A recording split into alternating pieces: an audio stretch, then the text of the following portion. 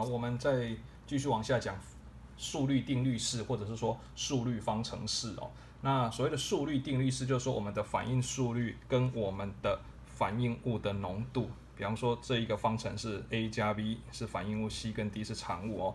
那这一个我们的反应速率跟我们浓度之间的关系，数学关系是把它写出来，通常就是若干次方浓度的速率跟浓度的若干次方成正比，把它写出来哦，这叫速率方程式哦。那这个 r 就是速率，k 小 k 就是速速率常数。反应速率常数，那这个 A 跟 B 就是浓度，哦，那 m 跟 n 是什么呢？哈，次方，那这个几次方呢？哈，要有实验数据呢去算，哈，呃，并不是不一定刚好就是 A 跟小 a 跟小 b 它的系数不一定哦。那如果是气体的反应，那也可以写成速率跟分压的若干次方成正比，哈。那这个再讲一遍，m 跟 n 必须要怎样呢？必须要啊做实验。去推求哈，那我们这个方程式，我们的就讲说，哎，对 A 来讲它是 m 级的反应，哈，对 A 来讲它是 m 级的反应，那对 B 来讲它是 n 级的反应，哈，那我们说这个反应的总级数，总级数呢，那就是 m 加 n 级的一个反应，哈，那这个 m 跟 n 呢，哈，它呃。可能是正整数，那也可能是分数，或者是零，甚至是负的都有可能。哦，那这个，那接接着你们可能需要理解一下，就是这个 k，啊，这速率常数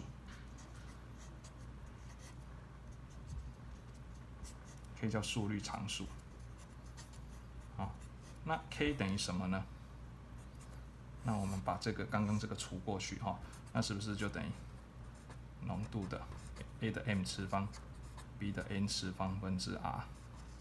好，那我们再研究一下哦。这个 r 是什么呢？反应速率。那反应速率通常就是哎，比方说哎，单位时间内浓度的变化量就是反应速率。哈，那这个 a 的 m 次方乘上 b 的 n 次方，所以总共底下的底下呢是浓度的 m 加 n 次方。哈，所以我们的这一个呃速率常数呢，它的单位。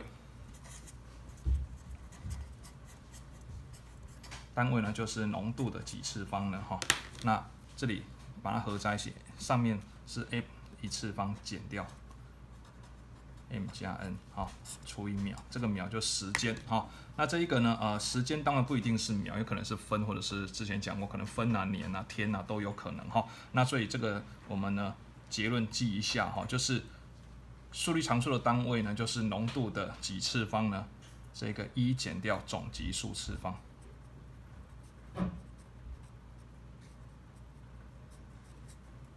总级数次方除以时间，哈，这个秒就时间。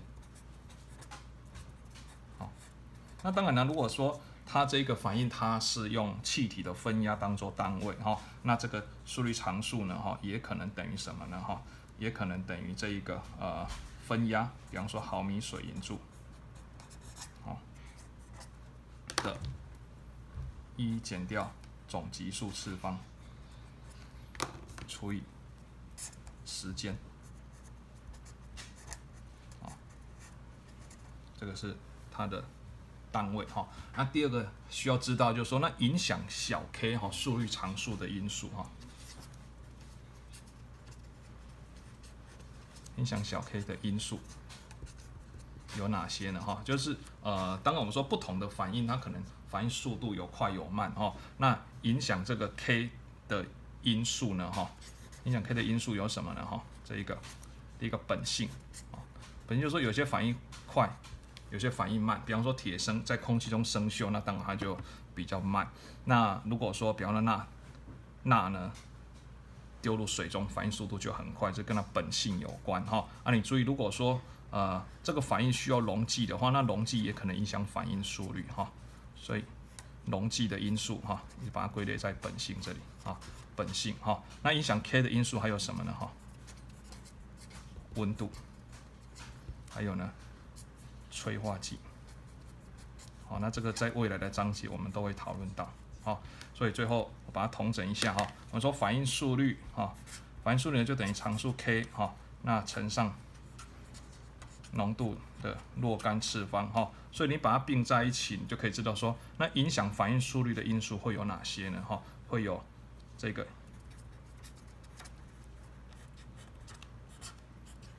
影响反应速率快慢的因素会有哪些呢？哈，那你可能是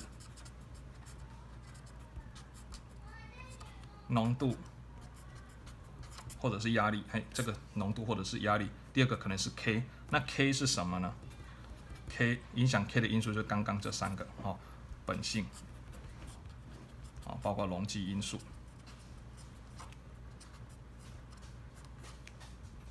温度，好，那最后催化剂，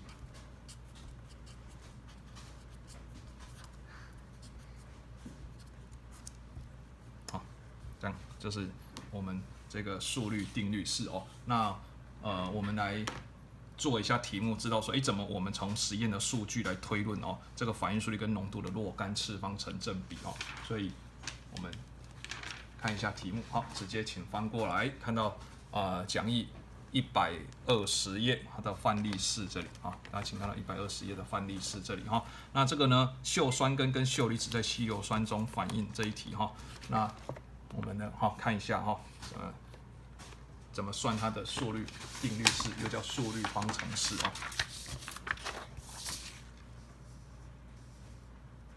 好，来这里哈，表格是这样子哦。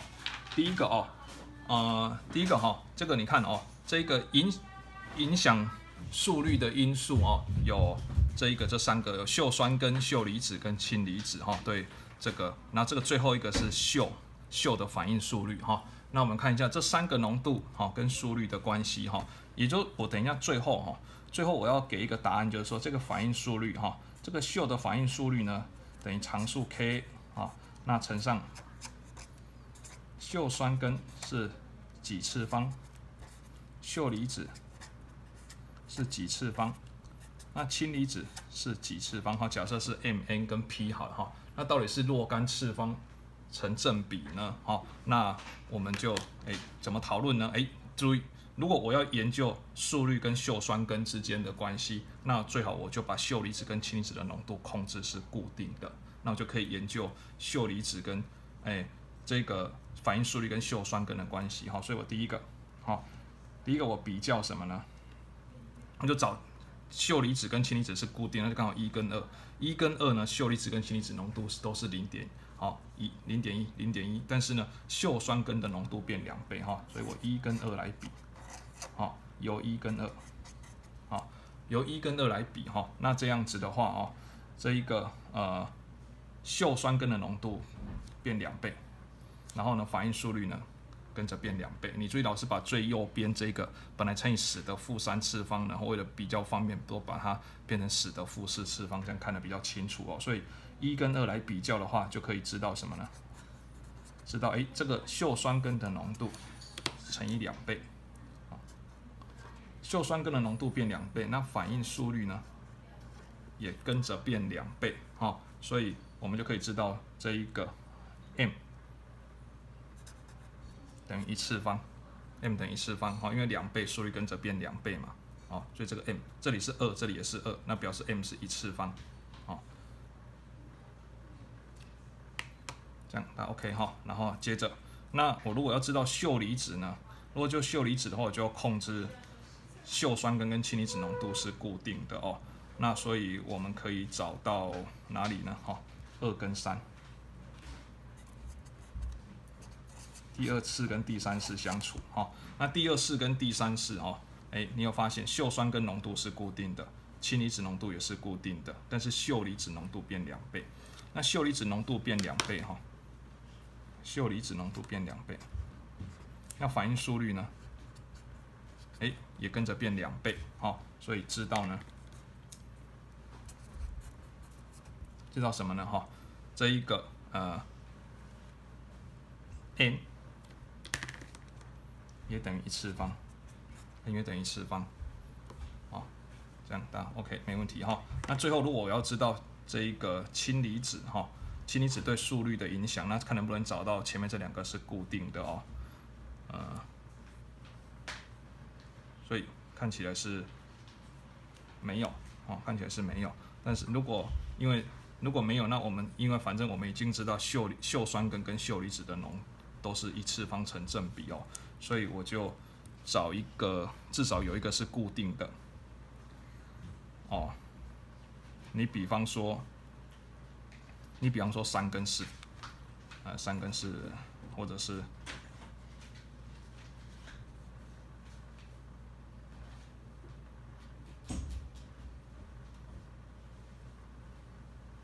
一跟四好了，一跟四好，哦，比方一跟四好了，我就比方说有一跟四，啊，一跟四的比较，哈，那一跟四的比较呢，哈，我们可以看得出来，哈，一跟四，哈，那溴酸根浓度不变，所以不用管溴酸根，哈，那溴离子变两倍，那溴离子如果变两倍，哈，那反应速率，反应速率应该要变两倍，好，那这一个呢，氢离子的浓度。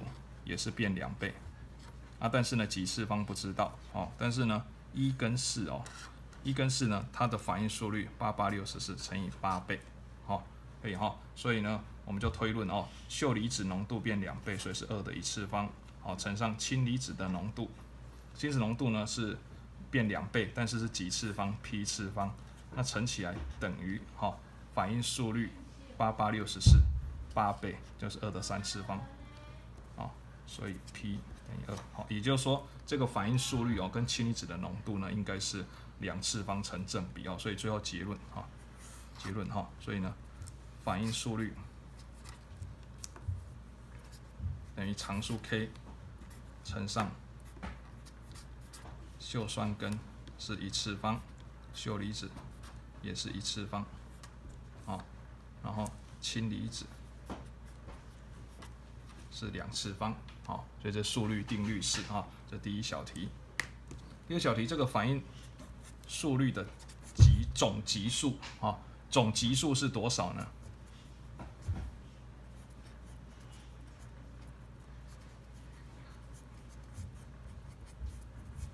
哦，那就是一一二合起来就是四，总级数是四级。第三个速率常数是多少？那速率常数呢？你就把这。找其中一个数据带进来，去解速率常数哈。那找数据的时候，你要找哪一个哦？这里一二三四这四个哈，你要找哪一个？那当然你就找最简单，都是零点一的这个，应该是最好算哦。所以我们速率常数呢哈，就由由实验一啊，实验一带进来哈，所以 k 等于八乘以。使得负四，那你在算速率常数的时候，你要注意单位哦。所以这个反应速率的单位哈，m 每秒好，那除以溴酸根是零点一 m 啊，零点一 m 好，那溴离子也是零点一 m 好，那氢离子也是零点一 m 但是你注意氢离子这里呢是平方好，那这样呢，所以这一个。零点一，零点一，零点一，平方总共十的负四消掉，所以 k 就等于八。好，那你注意 k 的单位是什么呢？好，这个呃分子这里 m 的一次方，分母这里是 m 的四次方，所以总共是 m 的负三次方。哈，除以时间秒。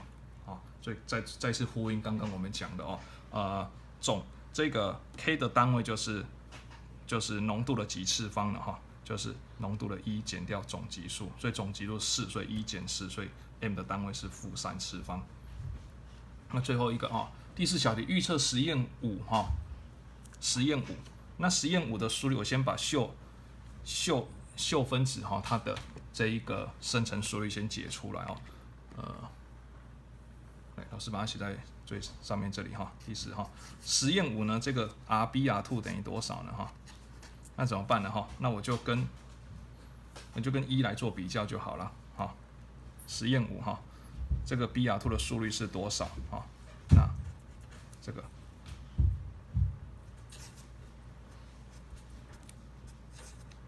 五跟一相较啊，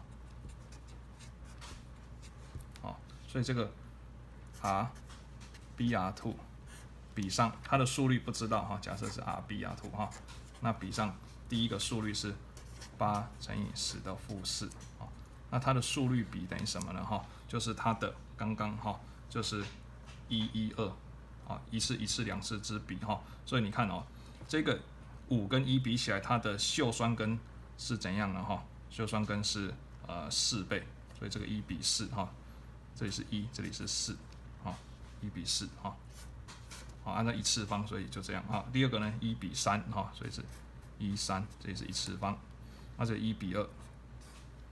一比二啊，但是你注意氢离子这里是平方，所以如果氢离子浓度变两倍，那速率就是平方倍哈。所以呢，哈，呃，所以这个二二四四是十六乘以三，四十八倍。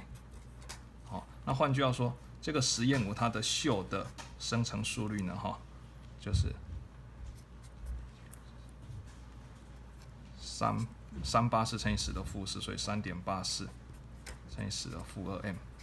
每秒哈啊，但是你注意这个算出来不是他要的哦，他要的是什么呢哈？注意看题，他说要的是溴酸根的消耗速率哈。那溴酸根哈，那你注意它的提议哦，提议这一个呃溴酸根跟 Br2 哈，注意看哦，有这个什么呢哈？R BrO 三溴酸根哈，你看到这个方程式哦，看到方程式来哈，溴酸根。跟 Br2 它的系数是一比三，所以当你把哎这一个 Br2 的 Br2 的速率求出来，Br2 的速率求出来之后，你还要怎样哈？Br2 的速率求出来之后，你还要乘以，再把它拿回来一点哈。你把这个 Br2 的速率求出来之后，你要乘以三分之一才是溴酸根的速率哦。所以刚刚这里哈，呃，这一个溴酸根的速率就是三分之一。Br2 的速率，好，所以刚刚这里呢，我们再把它这一个三点八四乘以十的负四负负二，嗯，等一下，三点八四乘以十的负二再除以三，哈，所以大概将近一点三，哈，不是一点二八乘以十的负二次方，啊，每秒，啊，这个答案，注意这一题有陷阱哦，这里答案是这样，哈，就是你先把 Br2 的解出来，那 Br2 解出来之后，再去解什么呢？哈，BrO 三溴酸根的哈，按照它们的系数比是一比三哈，所以解出溴酸根的速率哦。